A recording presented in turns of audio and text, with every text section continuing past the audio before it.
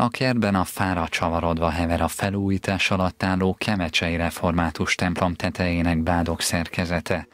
Ezt azonban nem a munkások, hanem a szél kapta le. Itt végezte talán a leglátványosabb kárt a hétvégi vihar. Az esetről a gyülekezet gondnokát értesítették először péntek este.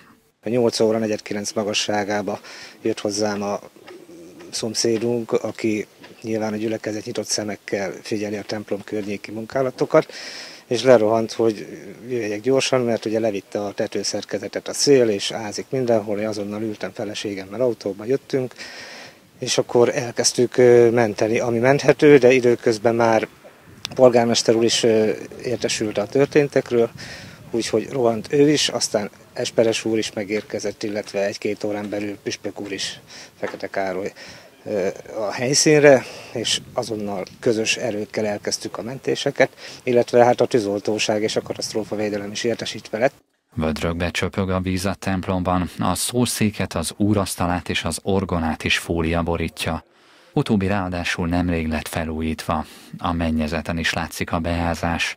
A tetőt kívülről borító dupla szigetelés ugyanis a bádoglemez leröpülte után megszívta magát, azóta pedig folyamatosan ereszti ki magából a vizet. A templomot így nem lehet használni, ezért az Isten tiszteleteket bizonytalan ideig a gyülekezeti teremben tartják, emellett az esküvők helyszíne is változik. A viharkára felújítás végét várhatóan jócskán kitolja. Az egyházközség lelkipásztora hálás mindazoknak, akik rövid időn belül segítséget nyújtottak.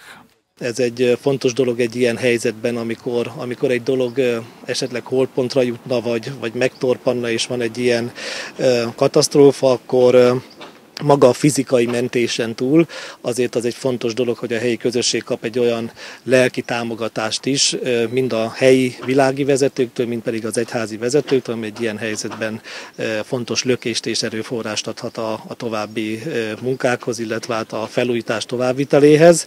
A kemecsei önkormányzat elsősorban a védekezési munkákban segített, a polgármester elmondása szerint pedig már a kárfelmérés is megkezdődött.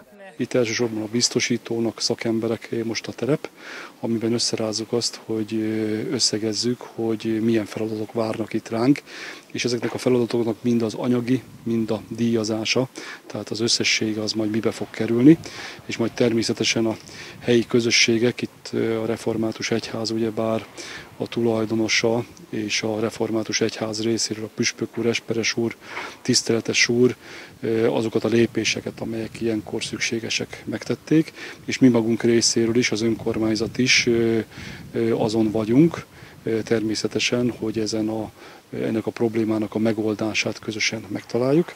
A településen egyébként önkormányzati épületekben és más házakban is keletkeztek kisebb károk, például beázások vagy kéményborulások, amennyiben máshová is lesújtott a vihar. Ennek megfelelően a katasztrófavédők sem pihentek. Péntektől vasárnapig összesen több mint 130 viharkárhoz vonultak.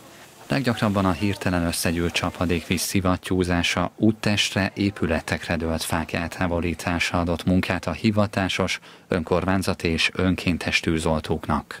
A legtöbb bejelentés a megyeszékely mellett nyírlugosról érkezett.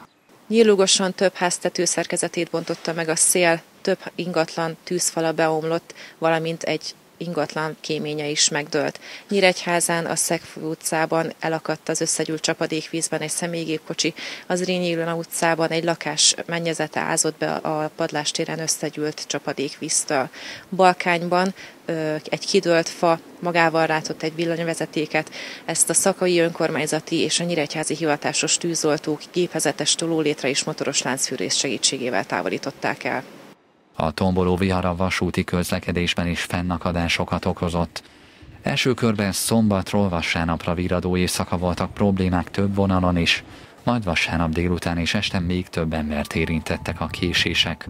A Miskolci fővonalon egyes vonatok menetideje akár két órával is megnőtt, mivel kidőlt fák, elromlott biztosító berendezések és felső vezetékrendszerek akadályozták a forgalmat. A vonat közlekedés csak hétfő hajnalra állt helyre.